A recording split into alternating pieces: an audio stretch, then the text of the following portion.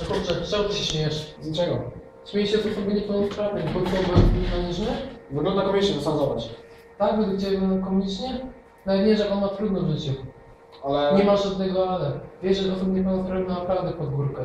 Należy się do nich zwracać z szacunkiem, nie możemy się z nich śmiać, musimy ich traktować na równi z nami. To jak ty się niego zachowali, było naprawdę skandaliczne. W sumie tak, nigdy o tym w ten sposób nie myślałem. No, Dzięki, że to uświadomiłeś, przepraszam. Nie, nie, przepraszam, nie, przeproś jego. Przepraszam. Jeszcze mieliśmy ankietę. I tu kolega powie pytanie do ankiety.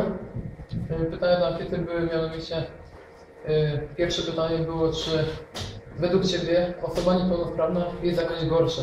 Aż 100% ankietowanych odpowiedziało, że nie, że nie jest gorszą osobą.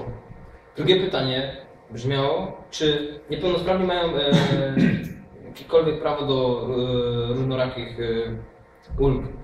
I 90% ankietowanych odpowiedziało, że owszem, że powinny mieć takie prawa.